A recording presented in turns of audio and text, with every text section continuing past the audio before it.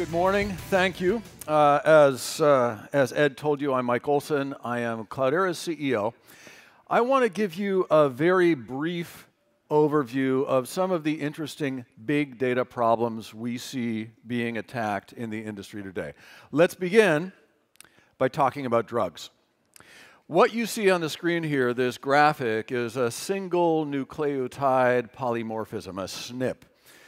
It is a single base pair variation in a genomic sequences. These are very important for a bunch of reasons.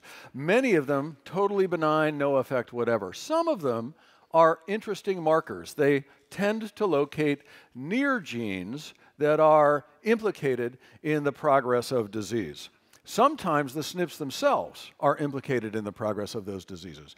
Sometimes the SNP can either promote or inhibit the activity of therapeutic molecules, of medicines that are applied to attack those diseases.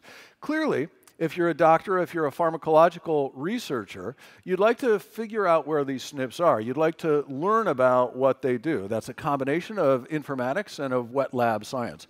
One last interesting fact about SNPs has nothing to do with the talk, but it just fascinates me. The absence of these variations is also an important signal. There are regions on the genome where SNPs are simply not observed, no mutation, whatever. This, this is called a putatively universally conserved protein, a region of the genome where no change ever happens. Best guess, of course, is that there is something happening, that there's genetic activity there that is so important that any variation at all is so maladaptive as to be deadly. So, discovering regions where no SNPs happen can tell us a lot about the genome as well. A team of researchers at the Johns Hopkins Bloomberg School of Public Health has developed a set of tools for exploring the genome, locating SNPs. When you sequence the genome, what happens is you produce an enormous number of relatively short reads, hundreds or thousands of base pairs. That enormous jigsaw puzzle needs to be assembled into a coherent picture and then examined, compared to figure out what's going on on it. Bowtie and crossbow are tools that Langmead and Schatz have developed to do that work. Massively parallel analysis, able to run quite inexpensively on top of Apache Hadoop. This is interesting because it allows them at low cost to explore the genome. It ought to be the case some years from now that when you go in and talk to a doctor about a malady you may be suffering, the doctor is able to create a profile of you and your SNPs and to use that to help understand both what diseases you may have and also what molecules may be effective in treating it. Let's move on now to guns. The city of Santa Cruz, California was called out in the Time magazine in 2011 uh, for having launched one of the most innovative programs of the year. Predictive policing is a technique that Santa Cruz uses to put cops where it matters. Every day, they take the entire history of crime in the city, upload it into a database. All of the thefts, all of the robberies, all of the murders, everything that's happened in the city, and build a map that directs officers to the areas where they ought to be. Obviously, there's going to be temporal variation over seasons, crime's going to move around. Uh, there may be events, concerts, or other things that, that happen that cause crime to break out. There may be periods of more or less. The police would like to be able to be in the right place at the right time. Now, this is obviously a very useful tool, just looking at the incidences of crime and where they were. But imagine combining this with remote sensing data, for example, from the ShotSpotter system used to locate gunshots, ingesting Twitter feeds and hearing what the populace is saying about things that are going on, policing absolutely can benefit from big data.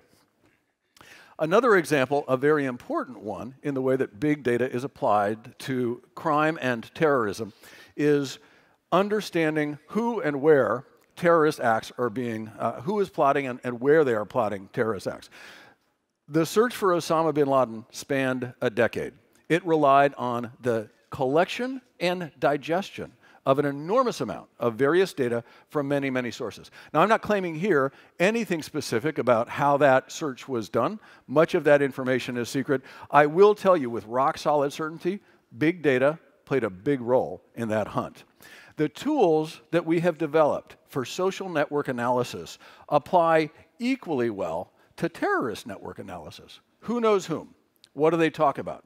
Where do they live? What are their relationships? If we can build graphs that allow us to tie people together in that way, we can do a much better job of identifying and preventing bad actions. The screenshot you see here, by the way, is from a tool called Synthesys. It's able to ingest an enormous amount of textual and other data and to automatically discover concepts and trends that the documents describe.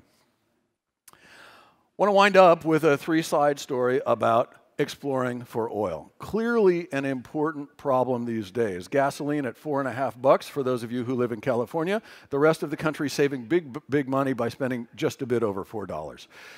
Oil exploration relies on remote sensing, data collection, data analysis. The ship that you see here in this picture is dragging a hydrophone, basically a great big air cannon in the water. Behind that is a long chain of hydrophones, microphones that are in the water, listening for the reflection of those shots off of the seafloor and off of subsurface structures. The goal, clearly, is to paint a picture that looks like the one you see on the slide. Where's the oil? Where's the rock? Where should we put the drill bit to maximize return?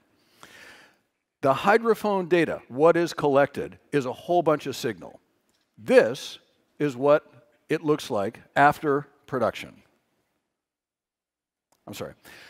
Now you can see here there's a good structural map of the subsurface. We can see some harder regions where sound waves bounce back better. We can see some softer regions where they're absorbed more frequently. What you can't see in this picture is any oil at all. Now, this is already enormous processing over the hydrophone data that was collected, but it's not particularly useful in this form. What you really want is a good picture of subsurface meaningful structures.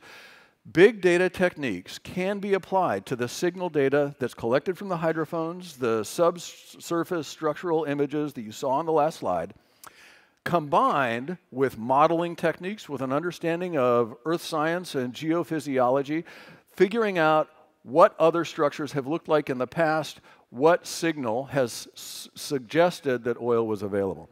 Now, the picture you see here, built out of just such a model, is a, a large salt dome, a, a, big subsurface salt deposit. Those are interesting because they tend to be relatively impermeable. It's tough for gas, it's tough for oil to bubble through them. They tend to trap those resources. So if you can find a salt dome, you're a long way to finding interesting areas to drill for oil.